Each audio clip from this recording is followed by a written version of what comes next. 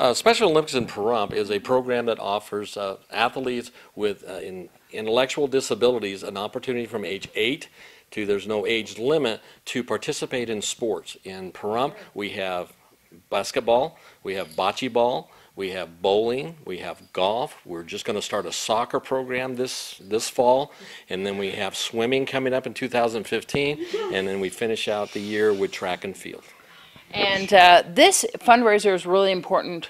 Uh, You guys are looking for uh, funds for what? For all Well- these Well, programs? well, for all the programs, but uh, the first year in our soccer program, uh, the community has to support the soccer. uh, So uh, AYSO has provided the fields for us, so we're in need of soccer balls, shin guards, just all the equipment to get a soccer team started. Then the second year, Special Olympics picks up all costs related to any sporting event.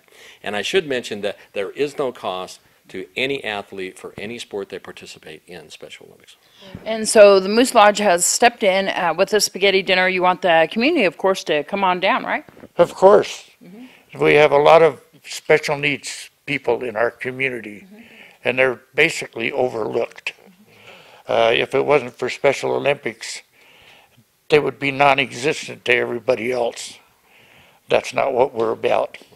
And people can donate, people can uh, join the Special Olympics and uh, uh, even to, you know, if, if they have a special need, they can become an athlete. Yes, they can become an athlete, and we're also looking for Class A volunteers. Uh, there are many organizations in our community, like uh, the POPD, which is Pahrump, Disability outreach. yeah, Disability Outreach. Okay, we are all doing the same thing. We're trying to provide services for our citizens who have disabilities. And So how can a person join the Special Olympics or volunteer or even donate?